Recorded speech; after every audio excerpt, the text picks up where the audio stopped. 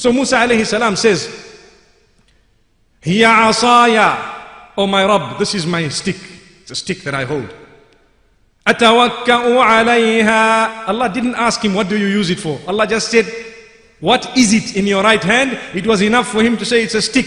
But he decided, let me now talk a little bit more. When am I going to get this chance again? Subhanallah. So he says, Atawakka'u alayha. I lean on it, Ya Allah. I use it as support. وَأَهُشُّ بِهَا عَلَى غَنَمِي And I use it in order to help me with my flock so that I can pull down some branches and some, you know, a little bit of the fodder to feed these, this flock and so on. And I guide the flock with the same stick.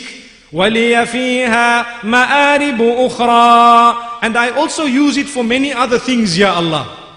Now he is saying, Ya Allah, I do this with it, I do that with it. And there's a lot of other things that I use it for as well, Ya Allah. Musa alayhi salam, look at how he's speaking. With us, when we say Allahu Akbar in Salah, we are communicating with Allah. A lot of us are guilty of wanting that Salah to end immediately. Look at Musa alayhi salam. He was prolonging the communication with Allah subhanahu wa ta'ala. May we be from those whom when we say Allahu Akbar, we forget about the time. In the past, when I was here, previously in Woodlands and previously in Gatesville at Masjid al-Quds, I remember speaking about Abdul Clock. I don't know if you recall that. And what was it, what it was referring to was those who are worshippers of the watch, even in Salah, you find them doing this. And they look at the clock and they do this. Meaning now, come on, it's getting late here.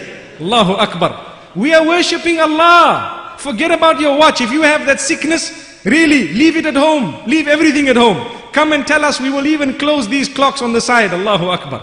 When we plug in with Allah, look at the lesson we learned from Musa alayhi salam. He was so happy. Allah didn't even ask him to say all this extra and he spoke more and more communication with us when we are reciting the Quran also it's an act of worship don't try and rush may Allah subhanahu wa ta'ala make us from those who learn a lesson